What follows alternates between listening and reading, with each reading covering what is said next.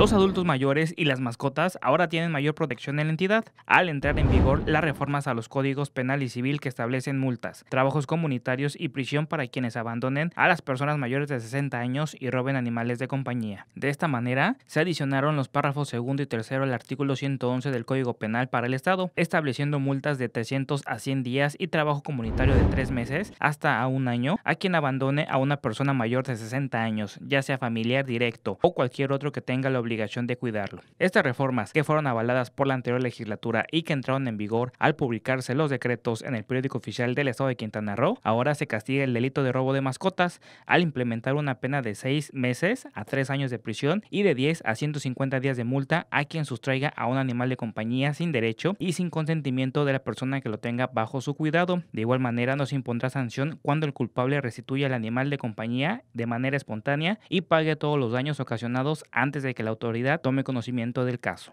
Para Luces del Siglo informó Omar Romero.